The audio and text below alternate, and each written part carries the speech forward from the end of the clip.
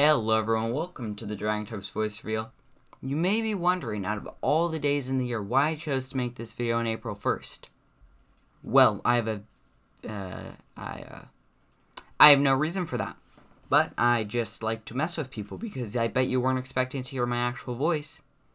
Well, other than this, I don't really have much to talk about, except for maybe to uh, go check out my community tab for some interesting things. I have a Q&A which I will be answering when I reach 20,000 subscribers, which may be a while, but I will still be looking at those questions, getting answers for them, getting prepared to answer for them. I might also I might also be having some polls stuff there if you want to check those out. Other than that, that's pretty much it. Thank you so much for watching. I'm going to go get some fries with Jim. Bye!